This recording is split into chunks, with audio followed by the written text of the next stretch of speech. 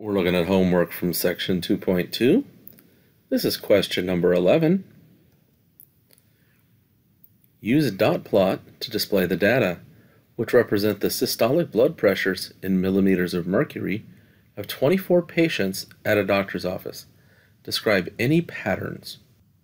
So we have 24 different values here.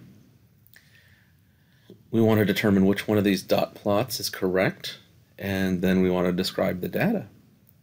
So rather than try to build the dot plot, what I'm going to do is I'm going to order this data.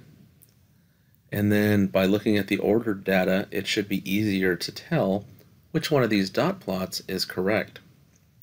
So let's put the data in order. So the lowest data value is 110.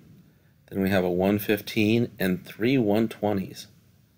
So when I start to look at these dot plots over on the right hand side, that immediately eliminates dot plot B and dot plot C.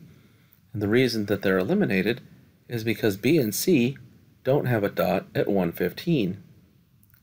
And we're supposed to have at least one dot at 115. So B and C are out. We're down to A and D. And the difference, one of the differences between A and D is that there's three dots at the end of A and only two dots at the end of D. So that is at the value 200. So how many 200s do we have? We have one, two, three, so we should have three dots, which means my correct answer here is choice A. So what best describes the data? Are most of the values between 120 and 150? Are the values evenly spread from 110 to 200? Are most of the values greater than 150? Or are most of the values between 140 and 180? So since A is our correct dot plot, we're looking there. And so the correct answer here is choice A. Most of the values are between 120 and 150.